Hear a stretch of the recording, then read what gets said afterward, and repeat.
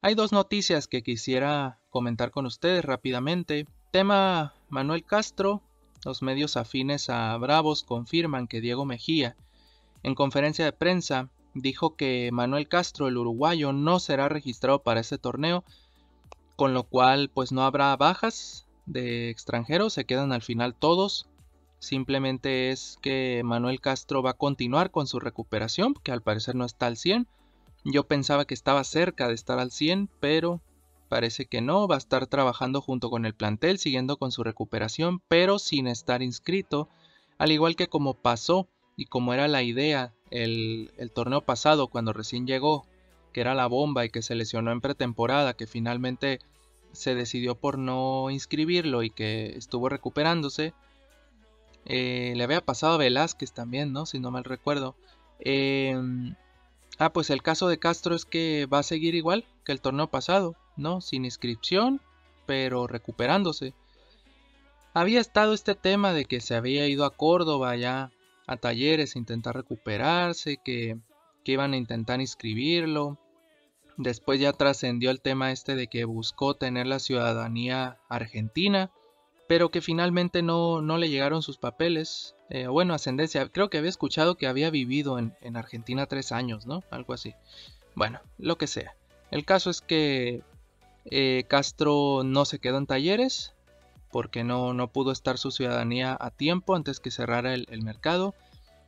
Y fue repatriado, por así decirlo, con Bravos, donde va a terminar de, de recuperarse y a ver si para el próximo torneo ya está para, para jugar o se le vende o se le presta o a ver qué hacen, ¿no? Pero por lo pronto, esa es la primera noticia, no se va a dar de baja a nadie porque es Manuel Castro finalmente el que viene aparentemente todavía sin recuperarse y se le va a dar todavía todo este tiempo de aquí hasta que inicie el siguiente torneo para que, llegue al 100, ¿no?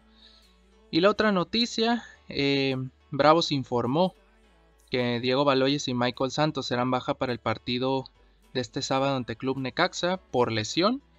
Eh, Territorio Bravos dice que Cristian Oliva también será baja, pero bueno, acá en el reporte médico de Bravos, en la página oficial, informan de que Diego Baloyes sufre una lesión de primer grado en el recto femoral izquierdo y de que Michael Santos, tras habérsele sometido estudios, al igual que a Baloyes, en el caso de Santos sufre de una lesión de primer grado en el músculo sóleo izquierdo.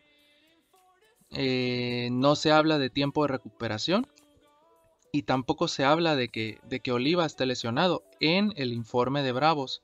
Pero Territorio Bravos dice que Cristian Oliva también va a ser baja. Entonces, no sé. O sea, no, no, sé por qué no lo anunciarían también lo de, lo de Oliva. Quizás solamente son molestias y, no sé, y se le va a cuidar y ya que ojalá. Eh, pero en definitiva, el partido contra Necaxa pues se le pone un poquito más cuesta arriba a Bravos, más, más aún que va a ser de visita. Y, y, sin estos jugadores clave, pues sí que se pierde bastante punch en ofensiva, aunque claro, se sigue disponiendo de bastante, bastante buen equipo al frente, ¿no? Pero, pero bueno, independientemente de esto, eh, una de las noticias, como les decía, ningún extranjero va, a ser dado de baja porque es Manuel Castro el que se queda sin registro. Y por el otro lado, Bravos anunció, curiosamente, que Baloyes y Santos y Cristian Oliva, dice Territorio Bravos, están lesionados, ¿no? Los tres provenientes de talleres. Qué curioso. Pero bueno, déjenme sus impresiones aquí en comentarios, los estaré leyendo y nos vemos en la próxima.